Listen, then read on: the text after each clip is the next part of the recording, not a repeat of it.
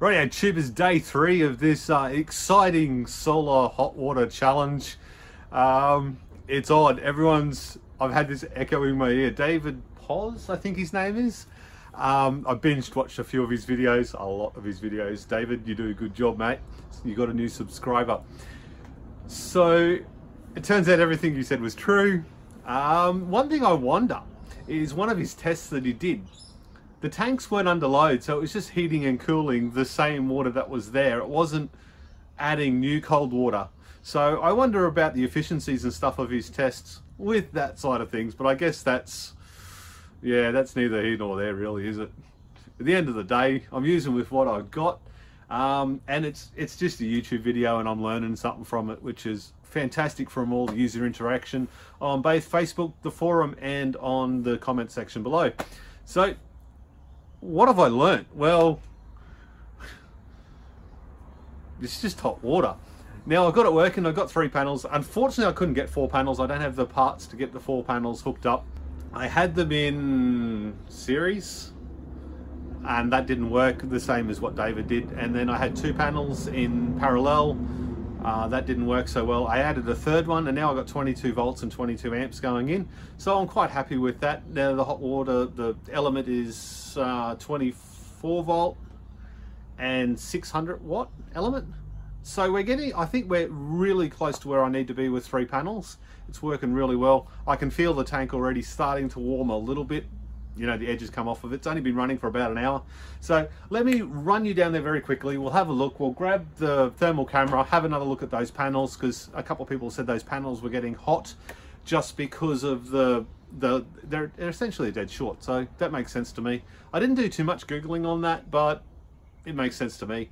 As for that big solar hot water panel I've got, some people have said, yeah, fix it up, it'll work. I really have no interest in fixing that up.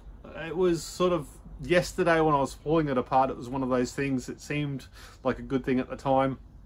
And I throw it in the video. I mean, they're no effort videos. I'm just having a bit of fun and sharing my journey and hopefully learning something while I'm at it. But if somebody else wants to have a crack at that, I won't destroy it anymore, I reckon. But there is a council pickup next week. Uh, so I might throw it out on, on the curb and someone might grab it for scrap, I would imagine. But if someone wants it, you know where I live. Well, most of you knows where I live.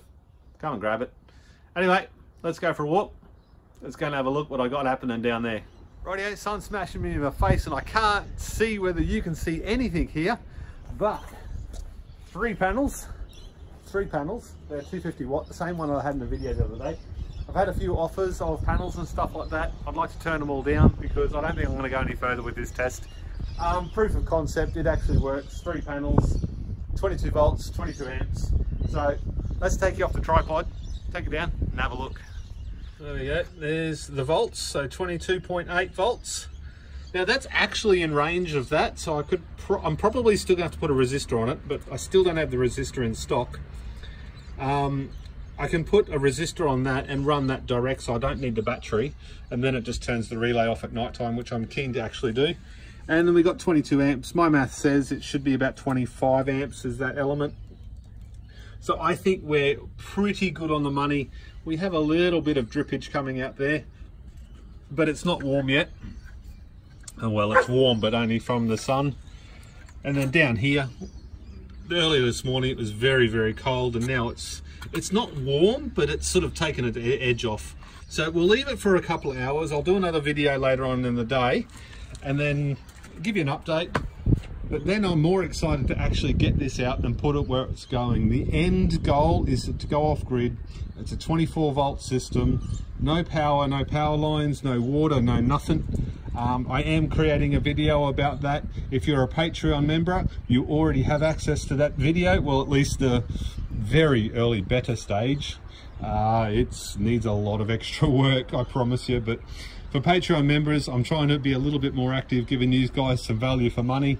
I've been absolutely missing from that platform for a year. Uh, I hate asking for money or begging, so I've sort of tried to just let it grow organically. Doesn't grow organically, apparently. But anyway, tubers, I'll see you in a couple of hours when that thing's hot. And we'll see if we can volts and amps and things again later. Yeah, tubers, we are four hours in We have still got perfect sun on those panels, which is fantastic. I even gave them a bath to you know clean all the bird shit off of them. And we are going fantastic. We actually have hot water. At that. That is the over no, there's the exit pipe. It's nice and hot. I can still touch it so it's not burning up. And let's see if I can get the cross hatches on that. At 45 degrees, so we are getting there. All the pipes are nice and all the pipes are nice and hot, and if you have a look in there, we got some real heat. So about 50, 51 degrees. Now I have got the thermostat set to, and this is where you you know uh, 60 degrees. So that is likely to actually turn off soon with the thermostat, which will, I guess will be an interesting test. Uh, that will prove it that it works with only three panels. Let's grab the multimeter and the clamp meter now and have a quick look. So still doing 22 amps. As you can see from the panels there, they're nice full sun. Let's ramp back a little bit. Grab the multimeter. and see if I can do this for you. It's going to be around the wrong way for sure. And There we go. Look at that. So it's doing 20 volt, 20 volts, 20.8 volts and 21 amps. So that puts it about 88 amp hours so far to get it from probably 10 degrees to 50 degrees. I'm making numbers up, but that, that's close enough. I'm happy with that. It's a very good proof of concept that the idea works. One more panel, and I reckon, what, I've had four panels there. I reckon this would heat up in maybe four hours and that'd actually switch off again. So I'm pretty happy with that. I got three or four kilowatt of panels out there on the on the roof um, charging the battery. So I don't think we're gonna have any problem at all getting this hot water to maybe 80 degrees every day. So tubers, that concludes another one. The next time you see this rig will either be on Facebook or when I release the actual video. So thanks very much for tuning in.